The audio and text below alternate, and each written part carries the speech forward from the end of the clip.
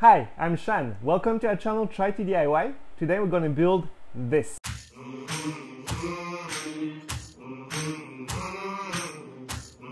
This coffee table has a few cool features. First of all, it has a integrated power outlet that you can pull out. It also has two hidden wireless charging stations on both edges of the table. But the main feature of this coffee table is that it can become a dining table. Camille and I have a pretty bad habit. We like to eat in front of TV. But the thing is, is that the co usually coffee table are pretty low and we always have to bend down uh, and that was not comfortable for us. So we basically try to find a solution for that and we build our own coffee table that can transform into a dining table. And uh, we try it out and it's pretty cool. It changes a lot. And now we can actually eat dinner in front of TV comfortably. And this is why we build this coffee table slash dining table. Okay, let's start. Lumber is very expensive in France, that's why I try to use as much reclaimed wood as possible. I will be dismantling two pallet woods for this project. You don't want to damage your machine, so be sure to remove all the nails. The pallet wood was used for almost a decade and needed to be straightened and flattened again. To make the planks pretty again, I'm going to pass each of them through the jointer to have at least one edge and one face flat and straight.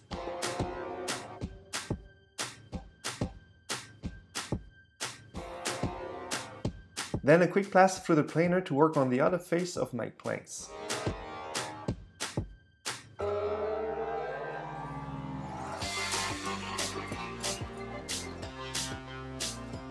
I'm gluing two of them together because I need my planks to be 1.5 times wider than it is thick.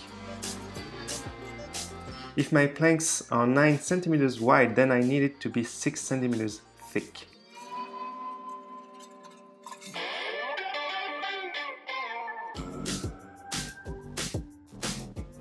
Another quick pass through the jointer to remove the excess of glue.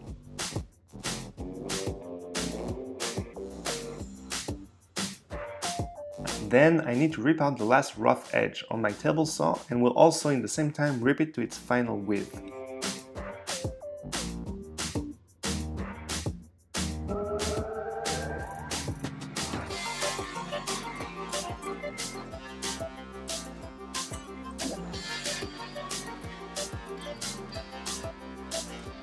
And now I'm cross-cutting it to the final length using my miter saw.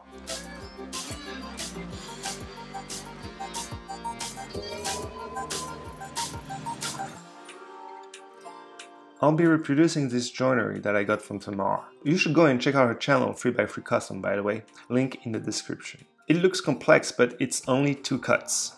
The secret here is that the first cut depends on the thickness and the second depends on the width.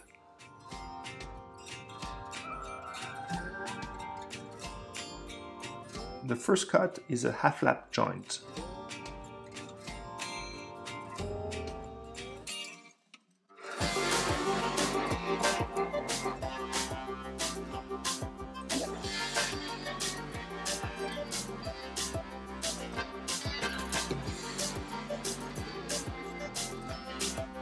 The second cut is a kind of a double tenon joint that goes through the half lap. The easiest way to make my tenons is to use my table saw. That's why I'm making a quick and dirty tenon jig. Without it, making a tenon over the table saw can be inaccurate and dangerous.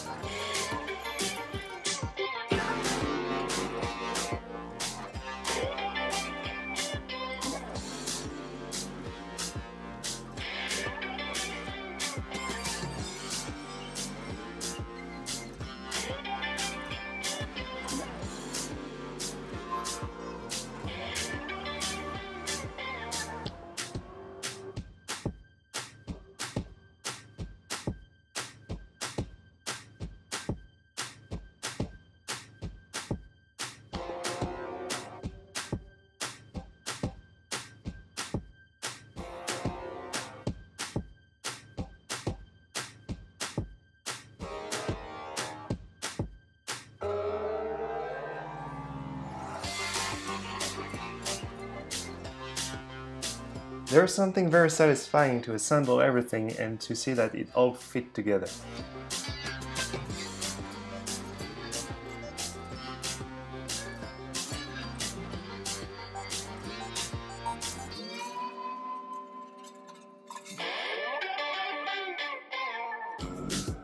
I know it's not perfect, and I'm sure that a pro woodworker would probably make fun of me.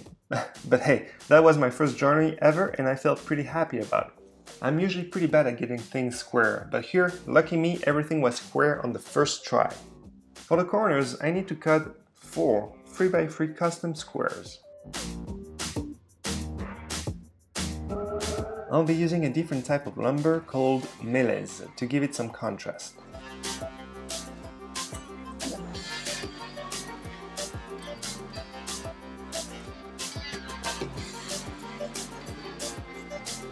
Now it's the time to glue up everything together.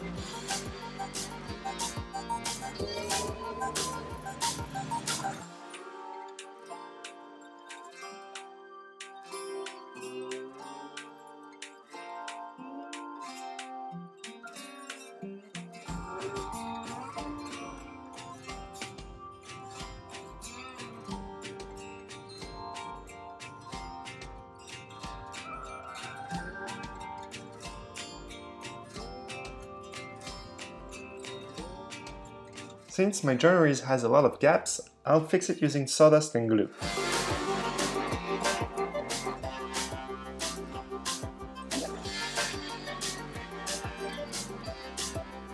Now time to sand before I slice the angles.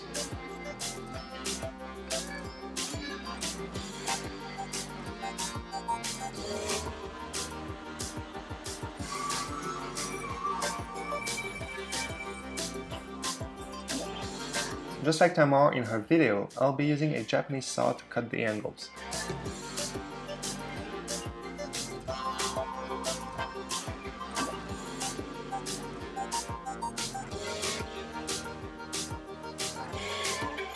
I'll sand the angles by hand.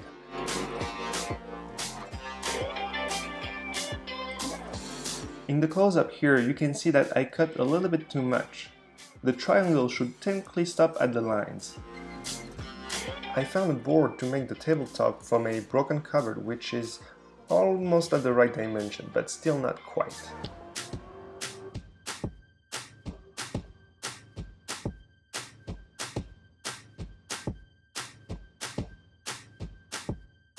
Then I sand it to remove the varnish. I need to make an inner frame that will be used as a storage, but also to hold the tabletop.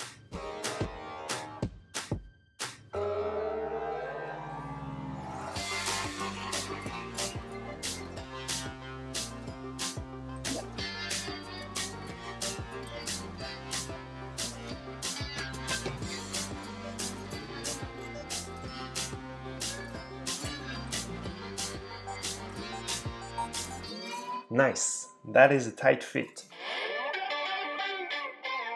Camille and I thought that the feet were too beefy and ugly, so we decided to give it a slight slope by cutting it at an angle.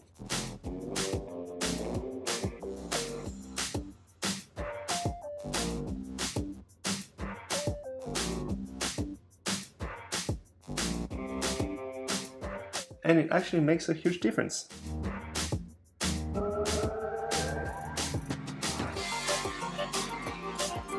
Close the bottom I used another board from the same broken cupboard, but this time it was slightly too small.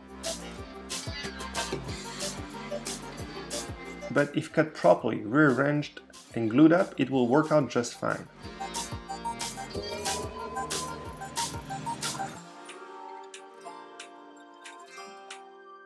I'm adding a small detail by routing a bevel onto the front-facing edge. I'm not screwing them all the way right now because I'll be removing the bottom a lot during the build.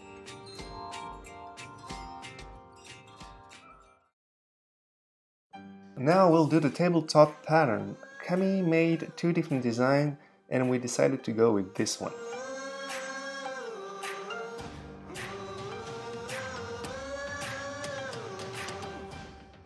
I'll let Camille do the layout because she has way more patience than me.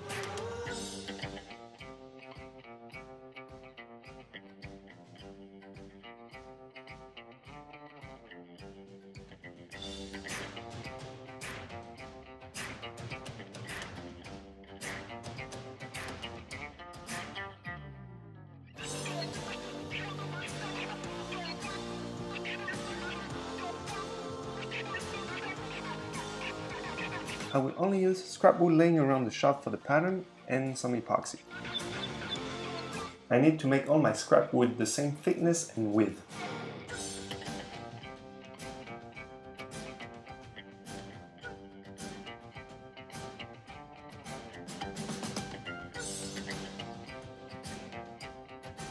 On the other hand, the length uh, would change and some of them will have some 45 degree angles too.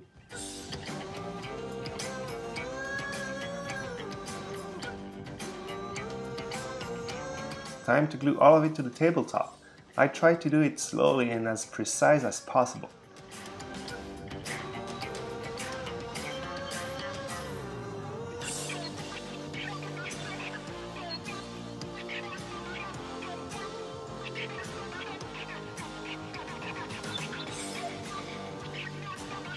Then I put some weight overnight while it dries. I don't know why, but at that point I realized that I totally didn't glue the four angle. So I'll have to do that really quickly in a few after I trim the edges.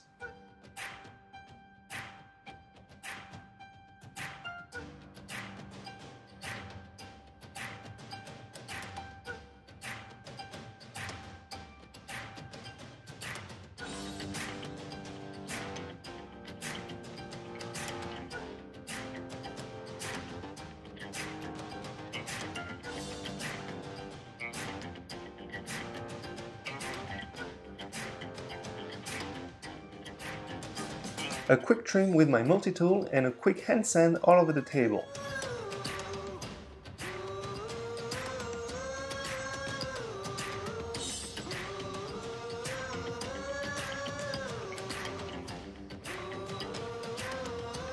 I'm running a bevel all around the bottom to facilitate the motorized movement of the table, because the mechanism will move up and forward at the same time.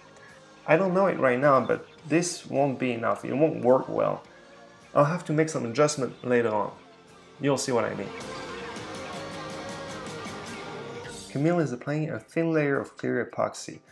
This will help to prevent the epoxy to be soaked in the wood. We've let it dry for 12 hours, then came back to start the real pour. I'm using a combination of duct tape and wooden blocks to hold the epoxy.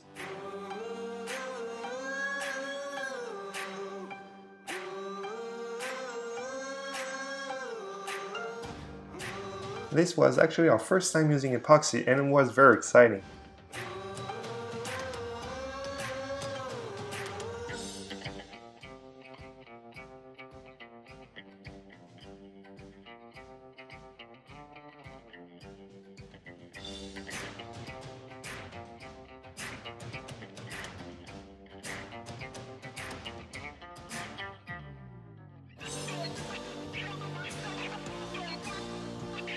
Sanding and filling the gaps again. And then, I don't show it on camera, but I sanded the tabletop again from 80 grit and gradually went up to 1000 grit, just to make sure that the epoxy looks good and smooth. I'm splitting the inner compartment in three using pocket screws.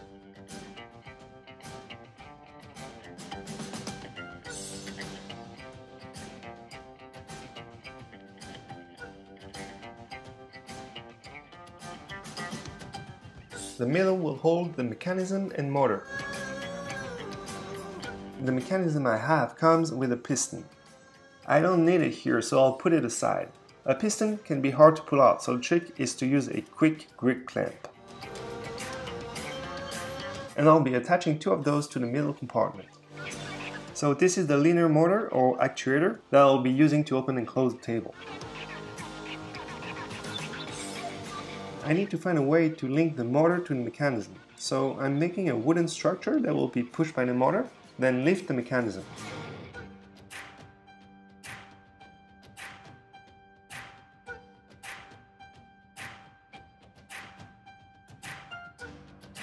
This piece of metal is from an old barn hinge and it's really really sturdy.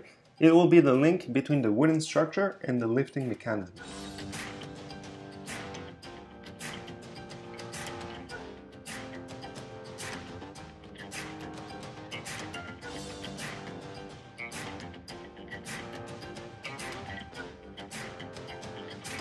Quick test with just the wooden structure, then with the lifting mechanism. It kind of worked, but there is too much friction, and I'll show you how I fix it later on. Usually when working with electronics, it's always a good habit to wear an ESD safety strap and to ground yourself to avoid damaging a component with electrostatic discharge. To control the motor, I'll be using an Arduino Nano for the logic and a TB6612 full bridge to drive the motor.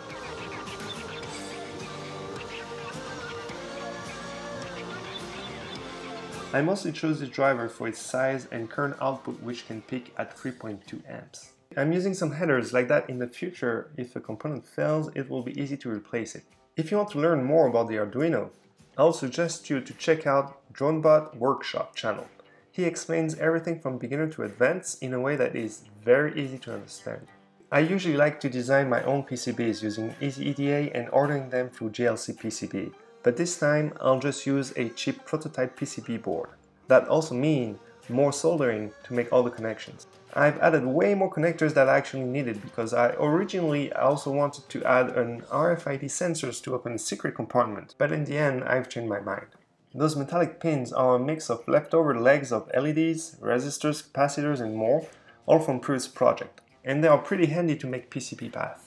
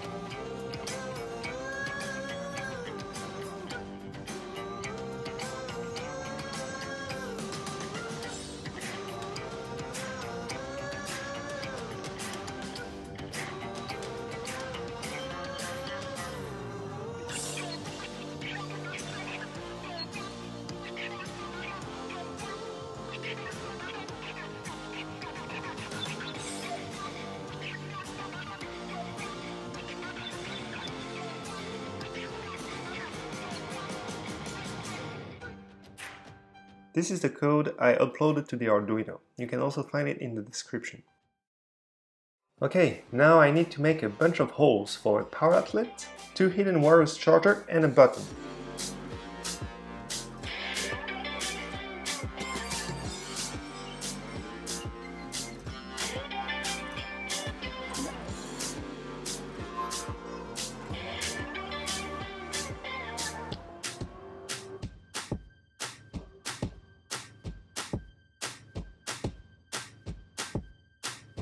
Decided to go with just the bare-bone wireless charger module with free coils which expands its charging area.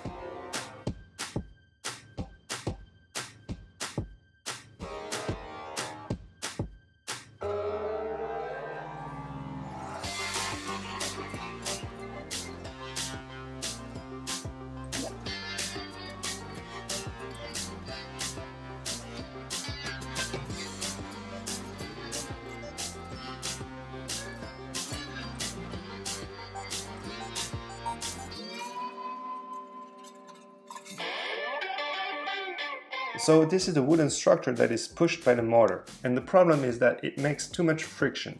So to fix this I decided to throw it away and use drawer slides instead. They are very cheap, like you can get you can get 10 for 10 bucks and they do slide well.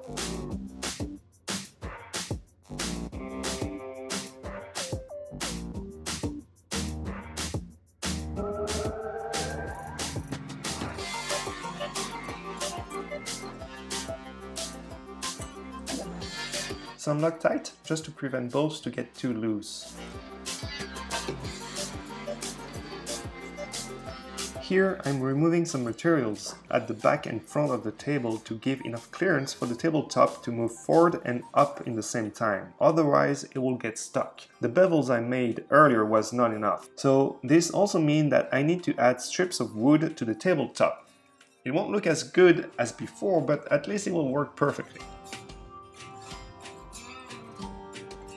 This little box with magnets will hold all the electronics. I originally wanted to put everything in the motor compartment, but I couldn't fit everything. This box will be attached under the coffee table.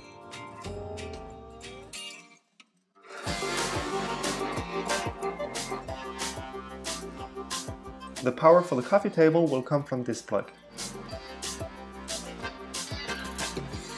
I'm putting my PCB into a plastic container to avoid any type of shortcuts.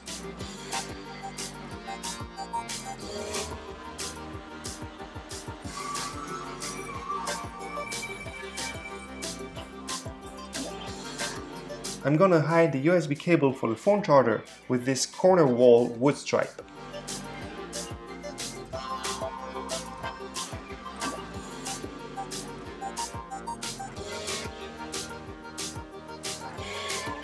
Now it's time to put some stain. Ideally, it would have been much better to dismantle everything and stain each part one by one, but uh, kind of got lazy here.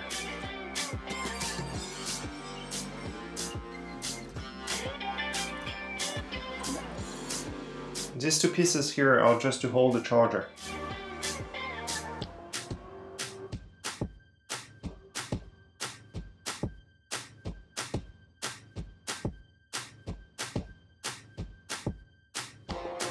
For the tabletop, I'll be waxing it and also polishing it off camera. The wax will make it easy to wash any food stain and will also make it water resistant.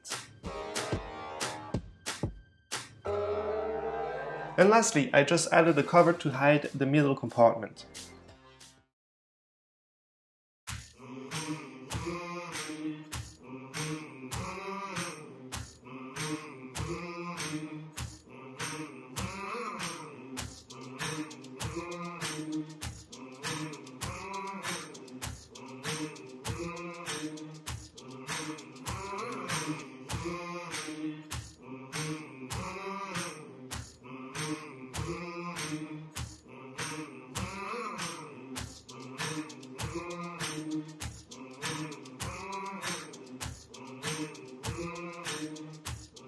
Et voilà, that's it for today. I really hope that you enjoyed that video. I really want to give a huge thanks uh, to the channel Custom 3x3 Tamar. Um, so I'm not sure if you, I'm saying her name right, but Tamar uh, actually figured out how to make those uh, angle joints here uh, using three piece of wood. She explains it very well. It's just uh, two simple cuts uh, you should check out her video and actually check out her channel. We'll definitely put a link of her channel in the description. So go and check it out. Uh, she is very smart and she's an amazing woodworker. You will definitely not be disappointed by her work. If you like that video or if you like what we do, please, please subscribe to our channel. Leave a comment if you like. I would love to hear what your thought on that table. If you liked it, well, like that video. Uh, that will be super cool and that will be super helpful too. If you want to see daily updates on our future projects, uh, feel free to follow us on Instagram. You'll see all the links in the description. And then that's it. Um, I really hope to see you soon. And um, au revoir. Have a nice one.